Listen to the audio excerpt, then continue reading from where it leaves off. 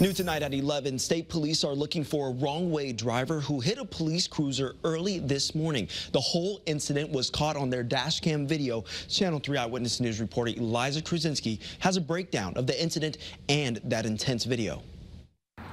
Yeah, Brian, it was a really scary situation. It happened just before 3 this morning. Multiple people called 911 saying someone was driving in the wrong direction on I-91.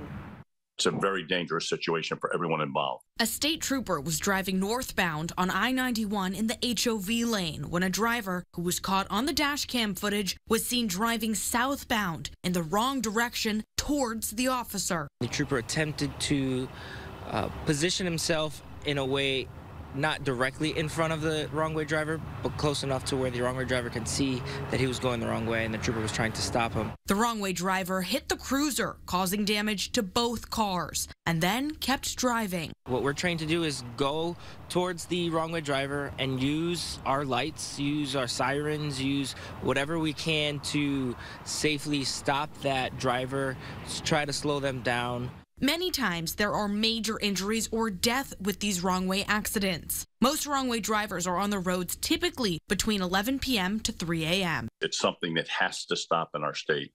Use caution, don't drink and drive.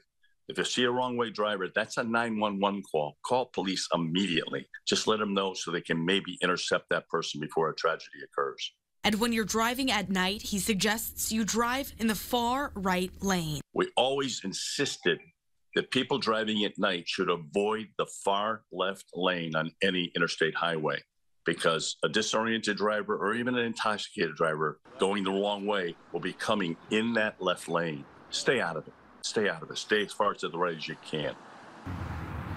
Officials are asking for your help in finding that car that was involved in this incident. It's a four-door, dark-colored sedan, and it has damage to the driver's side. If you have any information on its whereabouts, you're urged to call Troop H in Hartford. Reporting in Waterbury tonight, Eliza Kruzinski, Channel 3 Eyewitness News. All right.